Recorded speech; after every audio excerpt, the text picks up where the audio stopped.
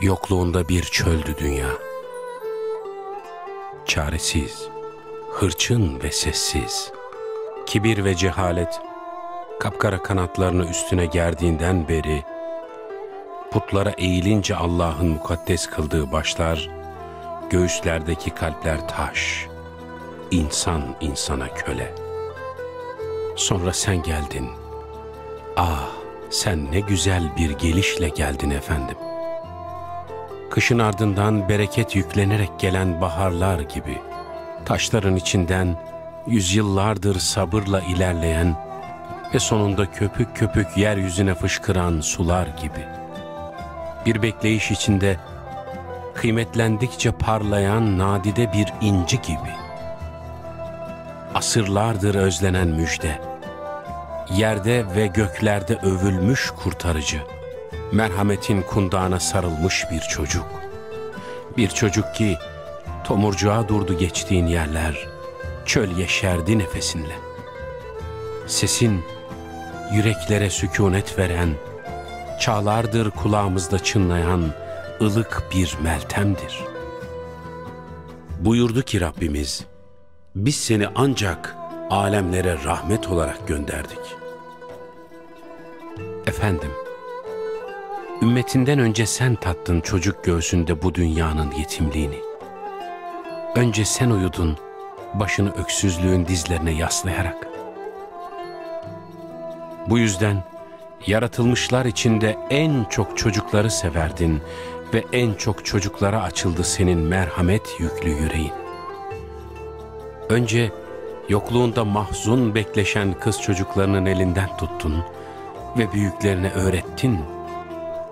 Her çocuk önce insandır ve her insan mukaddestir. Fakirlik korkusuyla çocuklarınızı öldürmeyin. Utanarak kızlarınızı hor görmeyin. Zira onların velisi yalnızca Allah'tır. Öğrettin ki sonra her çocuk Allah'ın ayetlerinden bir ayettir. Besmele ile başlanır okunmaya. Her çocuk fıtrat üzere doğar, tertemiz, mümbit bir toprak gibi başlanır işlenmeye. Siz toprağa ne ekerseniz, toprak size ancak onu verir. Her çocuk nimettir. Allah'tan yeni bir emanettir. Çünkü onun Rabbi ile sözleşmesi henüz taptazedir. Bu yüzden bir çocuk gördüğünde peygamberim bir gülümseme yayılırdı hemen mübarek yüzüne. Uzun yollardan dönüyor olsan bile yolunu bekleyen çocukları gördüğünde sevinir. Yavrularım, Allah'ın selamı üzerinize olsun derdin. Durup her biriyle ötüşen kuşlar gibi söyleşirdin. Bir çocuğa selam vermek, ona değer vermekti, şahsiyet kazandırmaktı. Bunu en iyi sen bilirdin.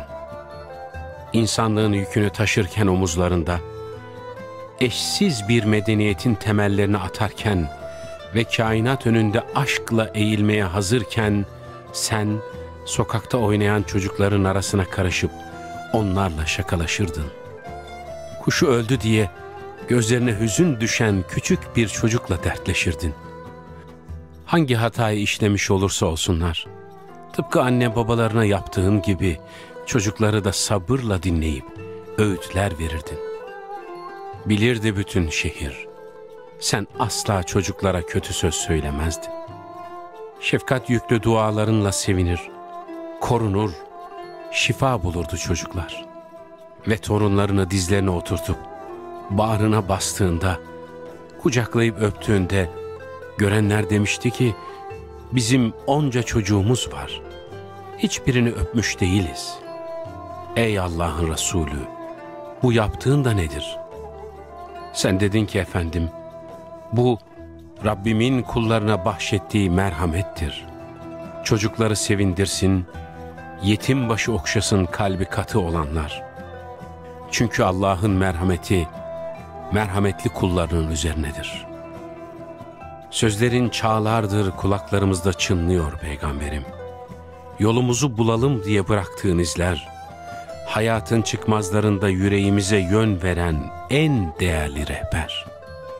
çocuk olmayı da, çocukla çocuk olmayı da, çocuğun haklarını korumayı da senden öğrendik.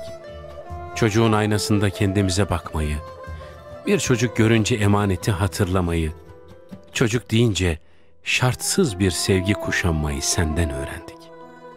Biz ne biliyorsak senden öğrendik. Bugün de, yarın da selamların en güzeli hep sana olsun efendim.''